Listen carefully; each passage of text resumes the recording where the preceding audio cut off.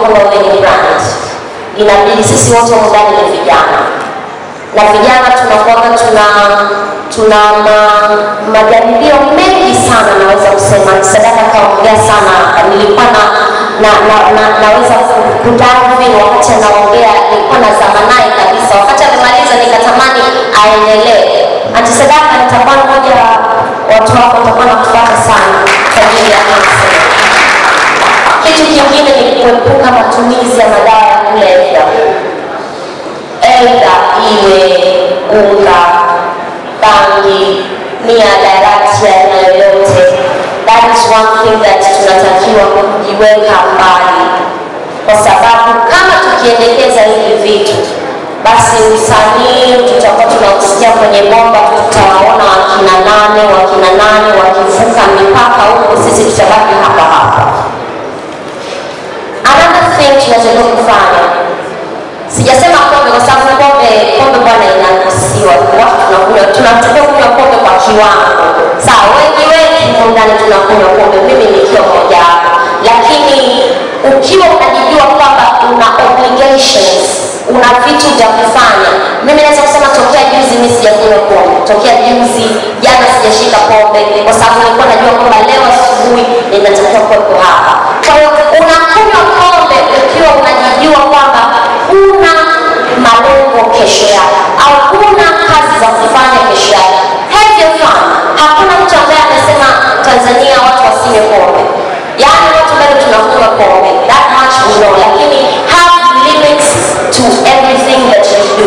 hiyo ndio maana ya kulinda brand yako kwa sababu once ukishalewa kesho na meeting alafu una obligation ya kufika saa mbili asubuhi. Unafika saa nne tayari unakuwa haujafanya time management. Na kwenye branding time management is very important. Kwa sababu kama unaambiwa unatakiwa kuwepo ofisi ya watu saa mbili na nusu kuna ofisi zingine wazungu sio wa afrika kuna ofisi zingine wanaenda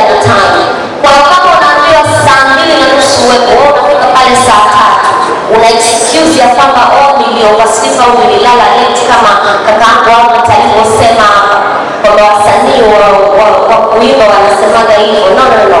There's no excuse kuchelewa. Kwa hiyo time management is very very important kwenye swala la kujibrand wewe kama msanii.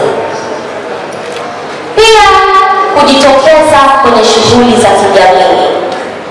Um, mimi naweza kusema kwamba I have kama nilivyoambia kwamba leo nafanya testimony I have really really changed na najishughulisha sana kwenye masuala ya shughuli za kijamii. I try my best. Na kazi hizi niona zaidi na zaidi kwa sababu nimeshaambiwa. Kwa sababu sasa hivi nimepata right management na try na try kuzi kuzi kuzi cancel zile jobs zangu nilizokuwa nazifanya alafu nafanya dues nyingi. Kwa hiyo I'm trying to make right. So kazi za kijamii kama wasanii ukijishirikisha you earn a point. That is the way kujibrand mtu akishakuona uko karibu na kijamii kwanza unapata sympathy kutoka kwa jamii. Society inaweza kusympathize na wewe. Kwamba hata kama huyu mtu ana matatizo yake lakini no she is or he is close na society. Basi fuata na majema yako madogo kuliko mabaya. So that's something else that we need to, to focus on kitu kingine ambacho nahisi mimi pia nimeshindwa kukifanya lakini najitahidi. Na nitaomba antisadaka aweze kunikansel zaidi. Kulumbana mitandaoni. Kulumbana mitandaoni. Once you're brand ukishajijua kwamba wewe ni brand hauna haja ya kubishana mitandaoni. Though siwezi kukataa wale watu ni wanakera. Kuna muda unaweza ukaamka una yako unaingia unatamani kama upige kelele. Kwa hiyo mwisho wa siku mtu unakuwa una hasira yako unaona out kwa mtu ambaye kakuandikia tu kitu cha ajabu. Sometimes that is not necessary. Be the bigger person. Hakuna kitu ambacho utalose ukikaa kimya ukalifanya kama vile kuona naona kitu kidogo kidogo kiko hapa. Kiukweli nisidanganya hapa naongea tu lakini najitahidi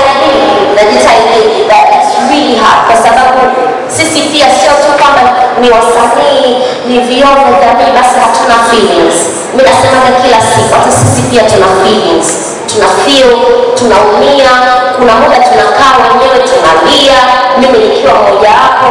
Kwa hiyo unajikuta kwamba sometimes unaona kama unaonewa, but then sometimes you just let it go, kwa sababu uko kwenye process ya kujibrand.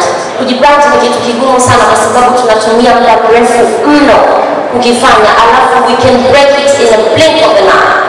So we have to be very, very careful when it comes to who protects brand safety. Um, mi naamini kwamba hapa watu wote wote apart from kuwa wasanii wa kuigiza, lakini wapo tunataka kupata zile extra money, na extra money ndio zinapatikana kwenye hizo endorsements tofauti. Unaona, kama mimi juzi nimepata ka endorsement kangu ka Star.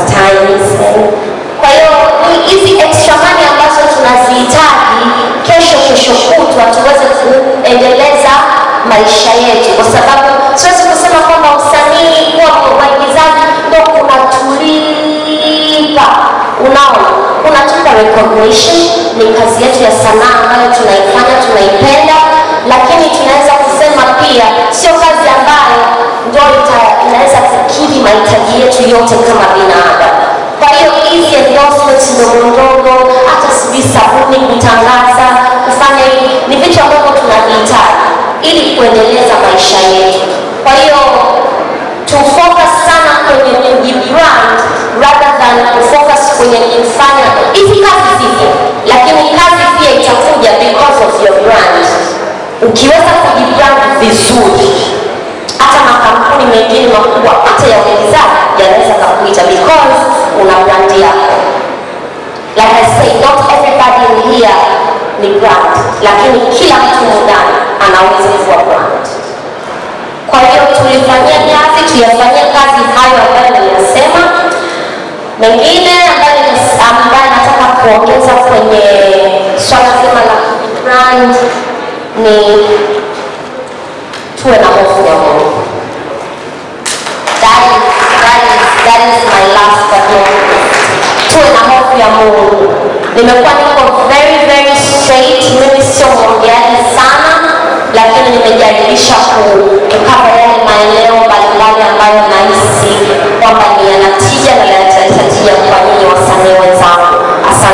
sana.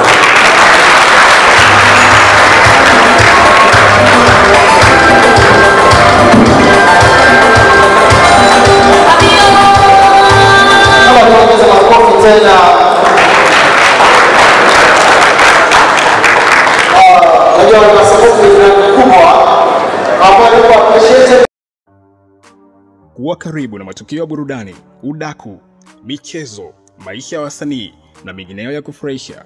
Subscribe Kidani Stars kwenye YouTube channel.